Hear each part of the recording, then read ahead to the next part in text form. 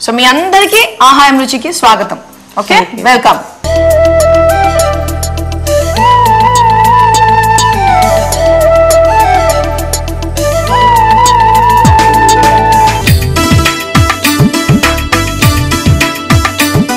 మీరేం వండబోతున్నారు? Capsicum rice.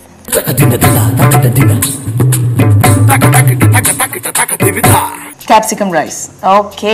So మరి capsicum రైస్కి కావాల్సిన ఇంగ్రీడియంట్స్ ఒకసారి చెప్పండి. క్యాప్సికమ్ రైస్కు కావాల్సిన పదార్థాలు. క్యాప్సికమ్ ఎండుమిర్చి పోపు దినుసులు ఉల్లిపాయ ముక్కలు జీడిపప్పు ధనియాలు మెంతులు పల్లీలు పచ్చిశనగపప్పు కొత్తిమీర ఉప్పు నెయ్యి. సో క్యాప్సికమ్ రైస్కి కావాల్సిన ఇంగ్రీడియంట్స్ అన్ని నోట్ చేశారు కదా? ఇప్పుడు చేసే ప్రాసెస్ నేర్చుకుందాం. ఓకే. నేర్పిస్తారా. ఓకే ఫస్ట్ ఏంటి? ఫస్ట్ పొయ్యి కొంచెం నెయ్యి వేసుకొని.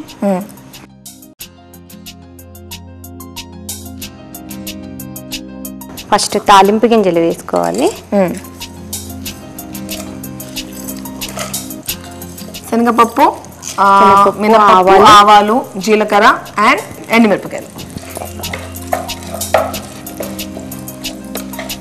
తర్వాత జీడిపప్పులు వేసుకోవాలి. ఓకే. కొంచెం నెయ్యి వేసి దాంట్లో పోపు దినుసులు వేసి దాన్ని ఫ్రై చేశారు కదా దాని తర్వాత జీడిపప్పులు. ఓకే. ఇప్పుడు? జీడిపప్పులు కొంచెం వేగాక వేసి ఉల్లిపాయలు వేయాలి.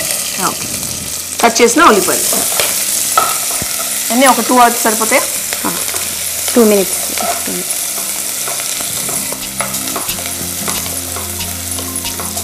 ఉల్లిపాయలు మగ్గిన తర్వాత క్యాప్సికమ్ వేయాలి. కట్ చేసిన క్యాప్సికమ్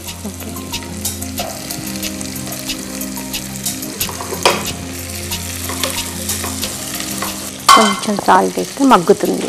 ఓకే.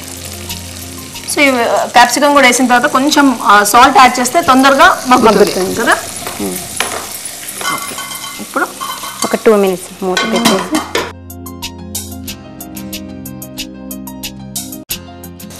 ఓకే మగ్గింది కదా? ఇంకాస్త మగ్గాల? ఓకే.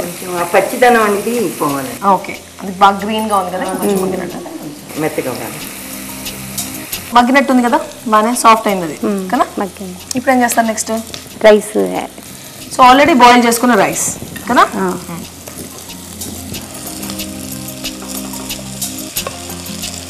సో దీనికి కొలితే ఉండదు. సుమారు మనకి దానికి బాగా మసాలా ఎక్కువ అనిపిస్తే ఇంకొంచెం యాడ్ చేసుకుంటూ కర్రీకి సరిపోయిన రైస్ వేసుకొని ఫస్ట్ చూడండి.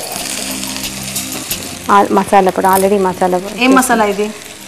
ధనియాలు మెంతులు షాజీరా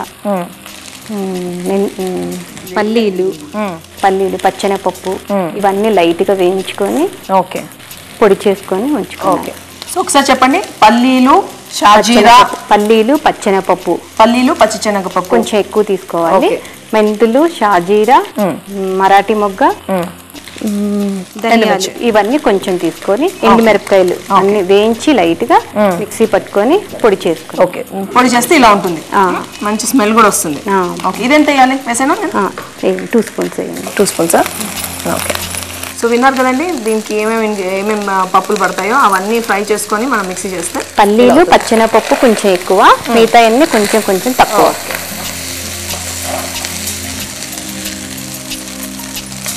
ఉప్పు కూడా అందులోనే వేసాను పొడిలోనే. ఓకే. సో ఆల్రెడీ పొడిలోనే ఉప్పు ఉంది కాబట్టి ఎక్కువ పట్టదు. అండ్ మీరు క్యాప్సికమ్లో కూడా ఇంతకుముందు కొంచెం వేసారు కొంచెం వేసాను.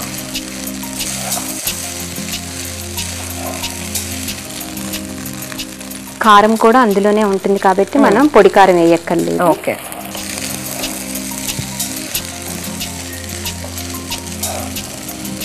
సో దీంట్లో ఇంత మసాలా ఉన్నందుకు యాజ్ ఇట్ ఇస్ తినేయచ్చు మనం. దీనికి ఏమి సైడ్ డిష్ ఒక కర్రీ కానీ గ్రేవీ కానీ లేకున్నా కానీ మనము తినేసేది తినేసేయచ్చు. సరిపోతుందా పొడిది చాలు. ఈ మసాలా మనం వేరే ఏ కూరల్లో అయినా వేసుకోవచ్చు. చేసుకొని ఉంచుకుంటే అవును. ఏ కూరల్లో అయినా వేసుకోవచ్చు. ఓకే. సో ఇంకాసేపు అది జస్ట్. ఒక రెండు నిమిషాలు అలా ఫ్రై అయిపోతే రెడీ అయిపోయి అవును. ఓకే. రెడీ అయిపోయిందండి.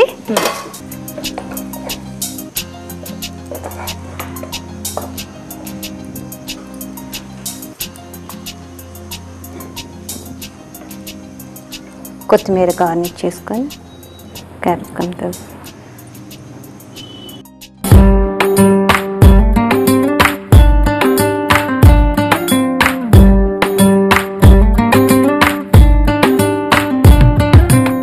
క్యాప్సికమ్ రైస్ వేడివేడిగా రెడీ అయిపోయింది. మరి దీనికి కావాల్సిన ఇంగ్రీడియంట్స్ అండ్ దీన్ని చేసే విధానం ఒకసారి నోట్ చేసుకోండి. క్యాప్సికమ్ రైస్కు కావాల్సిన పదార్థాలు క్యాప్సికమ్ ఎండుమిర్చి పోపు దినుసులు ఉల్లిపాయ ముక్కలు జీడిపప్పు ధనియాలు మెంతులు పల్లీలు పచ్చిశనగపప్పు కొత్తిమీర ఉప్పు నెయ్యి. క్యాప్సికమ్ రైస్ తయారు చేసే విధానం. ముందుగా ప్యాన్లో నెయ్యి వేడి చేసుకొని పోపు దినుసులు ఎండుమిర్చి జీడిపప్పు ఉల్లిపాయ ముక్కలు క్యాప్సికం ముక్కలు తగినంత ఉప్పును వేసి దోరగా వేగించి మూత పెట్టి ఐదు నిమిషాలు మగ్గించుకోవాలి.